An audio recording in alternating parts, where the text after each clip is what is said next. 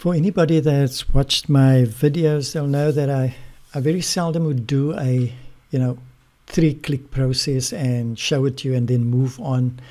Um, I like to give a bit of understanding and background, mainly because I'd like you to take the technique that I'm showing you and experiment with it and apply it and learn from that. You know, I know there are folk that when they need a feature, they just want to see that. Um, you know, so if you're looking for a, a quick solution to get duotones, um, probably this might not be it, although it's a relatively short video. I'm going to try and keep it under 10 minutes.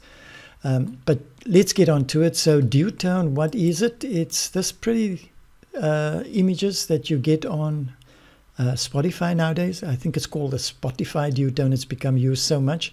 They use the cyan and magenta, and then you have the green colors, etc.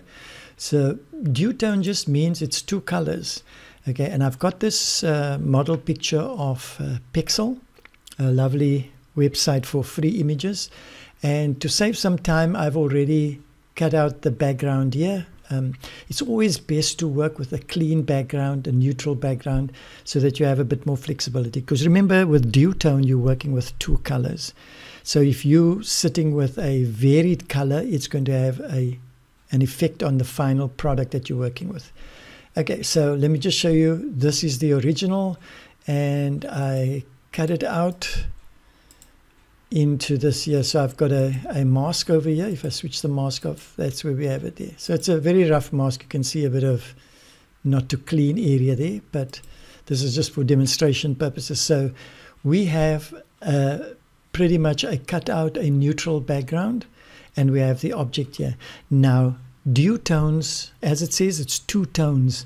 So it's going to have two colors, and we need to tell the, the what we're going to use here. It's called a gradient map. Over here, we need to tell the gradient map the two colors that it's going to give us, um, where it's going to apply it. And the best way to do that is to give it an option of either being 100% black or 100% white, or it could be shades in between. But if we use a color image, color images are known to have millions of different uh, levels of shading with skin tones, with clothing, etc. So what we first got to do is take the image and convert it to a grayscale image. So once we have a grayscale image, we then make the duotone process easier because then all it does is, is take one color, apply it to the black, take another color, apply it to the white, and give a blend of those two colors to any area that's kind of in between. Okay, so everything is just a shade of either black and white. So how do we get to do that? I'm going to take this object and I'm going to add a adjustment layer on there. There's different ways of doing it, but I'm going to add hue, saturation, and luminance, and then I'm going to pull down the saturation. So I'm turning that into a nice grayscale image. So now when we add these duotones, these two colors, it's going to know I'm looking for black and it will be a lots of this color and the white will be a lot of that color and in between I'll blend it. Okay. I'm repeating myself just for you to understand the concept of why we're actually getting it to a grayscale. So now we've got a grayscale and then I prefer doing this. Uh, other people will just work with these live layers. When I select the two here, uh, right click and I'm going to say merge visible. Okay, just make sure that you deselect these other ones. Uh, actually, yeah, let me just deselect those. So I'm going to take these two and I'm going to merge visible. So only those two that are visible are going to be merged. So there it's merged. Now I can switch these two off and I will be still sitting with this image here. So I've merged the two. It's now a single layer. Okay, if I want to go back and modify again, I can go work on these two layers. But pretty much this is what I want. And then that rectangle that I had, I'm going to switch that back on so that it fills the plain background. Okay, now I'm going to go to the image layer and this is where the magic starts. So I'm going to go on to the adjustment layer and I'm going to choose gradient map. Now you might be thinking, but there is a gradient tool here. Why don't I use it? Because it also can give me different colors. But with a gradient tool, it gives you an opaque layer. Then you've got to use a lot of blending modes to try and get close to what we're doing. The gradient map is a gradient of color, but it almost acts like a cellophane. It, it just goes over the image and it allows light to pass through. You'll see what I'm, i mean here. So if I go, if I click gradient map, um, Affinity Photo by default adds three nodes in it. One on the total left, which is for all the black area in your image, one for the total right, which is all the white areas, and it drops a node at 50% in the middle. So anything that's perfectly gray in the middle, it will have whichever color is in that node. We're going to remove that one because we only want it as a dual tone, but you'll see what happens when I pop this in. I'm going to click gradient map. There we go. Okay, just remember that these colors on top here with the swatch don't apply to this. The gradient map has its unique own color selections here. So let's just see what we understand by this. On the left here, this is representing black, and on the right represents white. So perfect black, perfect white, and all shades in between.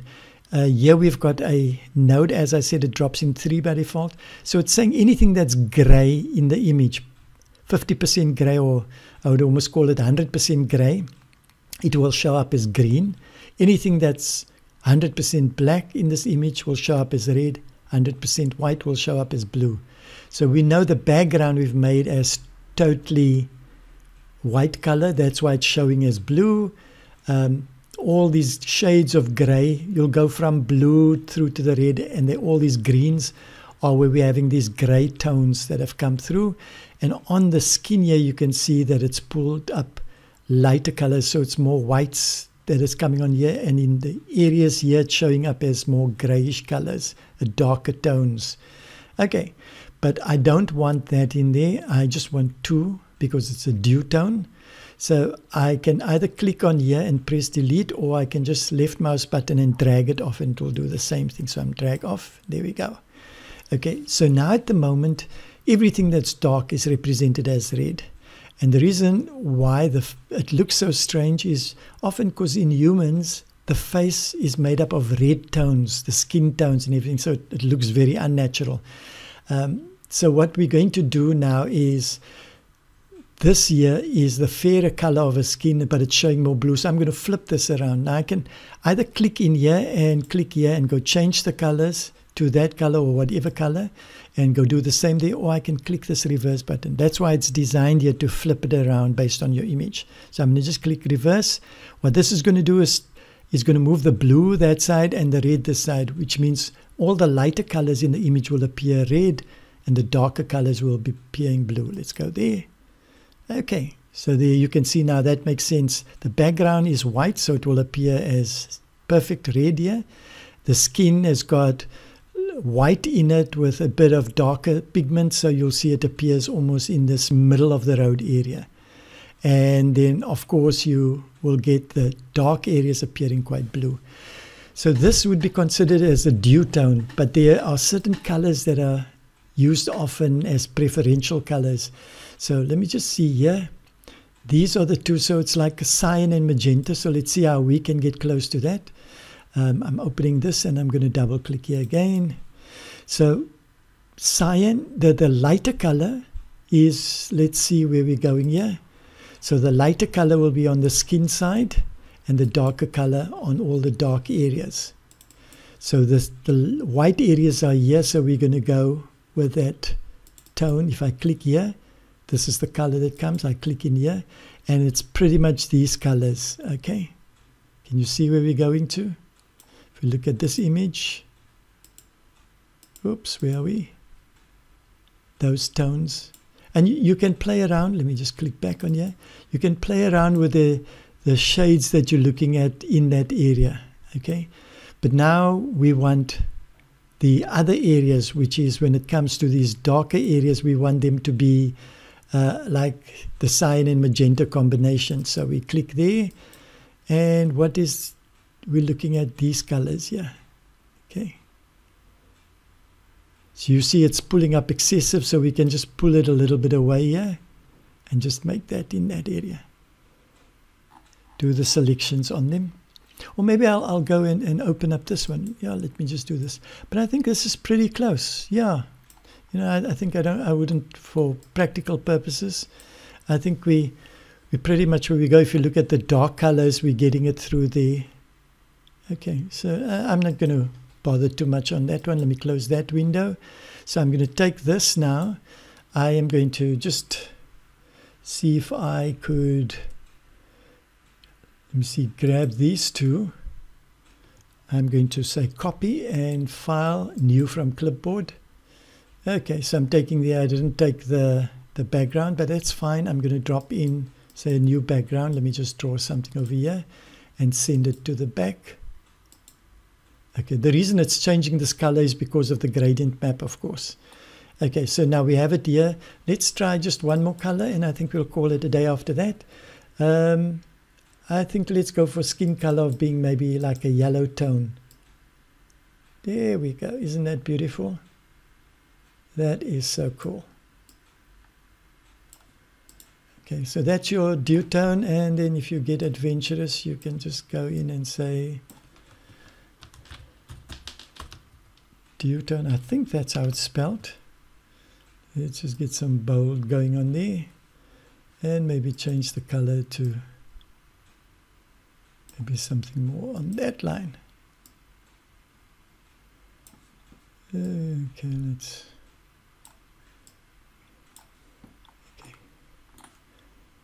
There we go.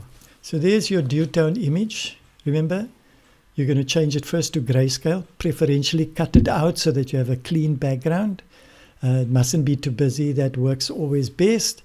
Then you drop on a gradient map and you make sure you go from the one color to the other color and then you have a duotone hopefully you get excited about that it's a it's a really cool technique so you can go from that image to that image and then of course you know you can experiment if you want to with adding a maybe towards this way a color in here and in that color you can add maybe oh, let's go now I'm, I'm being a bit excessive but I think you get the idea of where I'm going to with this is that's why I'm showing you these techniques so that you can go and experiment.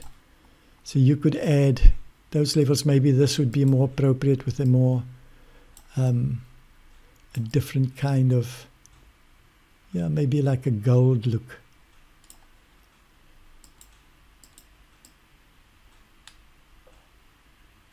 There we go. So you could have that kind of duotone look. Okay, so happy experimenting and fiddle around with it, come up with great designs, dig deeper into it. But now you have the tools in your hand to be able to do the rest. Have a fantastic day and God bless.